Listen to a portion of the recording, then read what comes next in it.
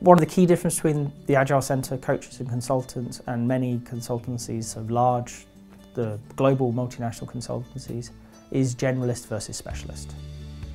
We engage specialist Agile practitioners, be they consultants or coaches. They will have deep experience in the field. They will have been doing this for many years. They will bring with them their experiences, their stories. Traditionally, consultants are generalists. They have no one particular specialisation. They're super smart people who are very good at getting stuff done. And that's great, but that won't necessarily solve your problem. We're seeing a move in the consultancy world away from this generalist anyway. The problems are getting too hard for people without that specialised knowledge to tackle them.